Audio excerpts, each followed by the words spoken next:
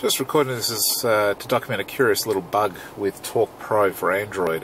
Uh, I'm running Android uh, 5.1.1 with Timur's uh, ROM, and uh, I've got, got the car running right now. I'm connected with a USB based uh, ODB2 reader, a cheapie from eBay. It's not one of the scantools.net ones, it's just a generic. Um, now, it works fine, as you can see here. Throttle up the car, everything's working fine. Now, generally what I have is the Torque Pro app is always running as the, uh, the primary application, uh, and it's always running when I turn the car on and off. Now, curious thing here, if I turn the car off, it'll go to sleep. And that's just the animation triggered off by Timur's ROM. So now the whole system is off, and then if I turn the car back on again,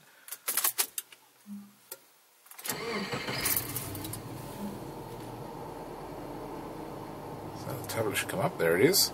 Okay, now, what's curious is, unlike the Bluetooth adapter, because I was using a Bluetooth adapter without a problem, um, it jumps back to the menu screen, and you can see by the icons at the top left there that it claims to have uh, connected directly to the ODB adapter and is trying to talk to the car.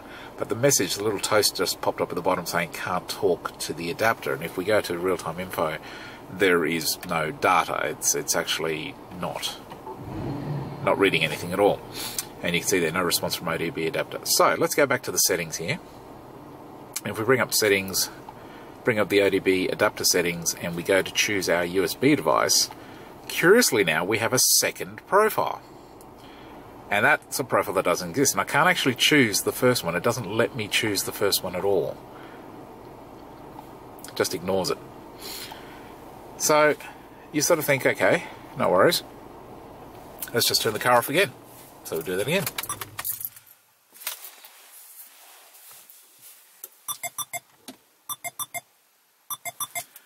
Alright, so now we'll turn the car back on.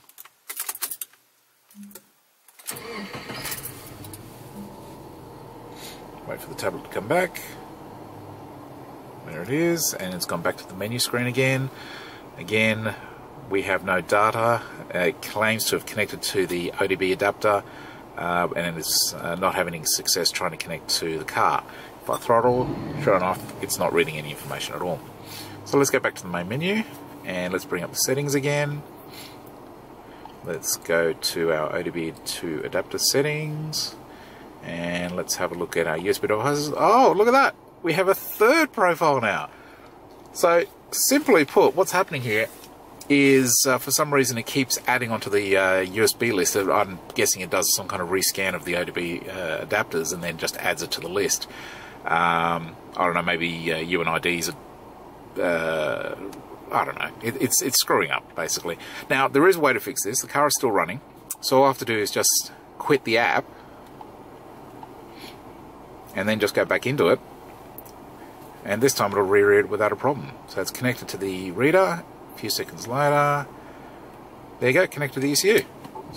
And it's all happy. So now if I go back Engine out, is at operating temperature. and if I bring up the settings, and bring up the ODB adapter settings, and let's go select our USB device, look at that. We have now one profile the way it should be. So it looks like there's a small bug in relation to having the Torque Pro app running uh, when you turn the car off and Timur's ROM goes into sleep mode. Uh, now I have tried the setting where you tell it to go into airplane mode. Uh, where was that? That was under dash installation settings, I believe. Use airplane mode. I've tried that with uh, both on and off, and it doesn't make any difference. So uh, something uh, about Torque Pro maintains a cache list or something somewhere, and it doesn't properly rescan the USB devices to populate that list to communicate properly.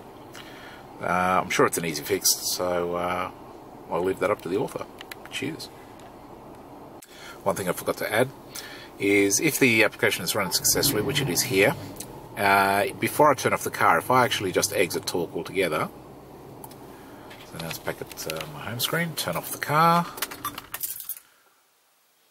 let it go to sleep.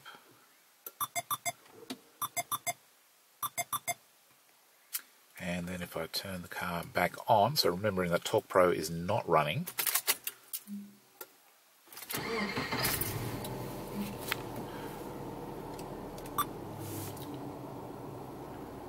Now, it detects the USB uh, adapter straight away, so it automatically launches Torque Pro and it connects to the adapter and now it's connected to the car.